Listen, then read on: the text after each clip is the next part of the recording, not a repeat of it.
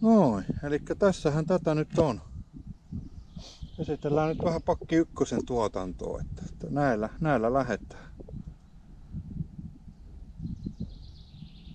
Mutta se nyt on sitten, että tuleeko kalaa tai ei, niin se on sitten monesta asiasta kiinni. Joko kalastajasta tai vieheistä tai veden lämpötilasta ynnä muusta.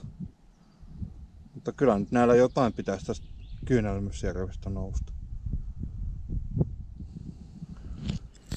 Tässä on viime kauden suosikkeja. Tää Suomi 100 esimerkiksi. Tuolla on noussut. Ja, ja nää on, tää on hyvä. Tää on erittäin hyvä.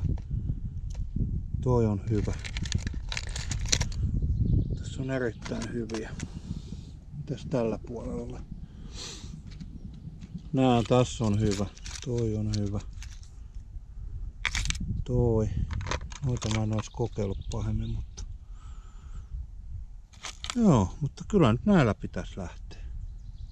Näillä pitäisi tulla ihan hyvin. Otetaan seuraavaksi toi. Mä lähden tällä liikkeelle.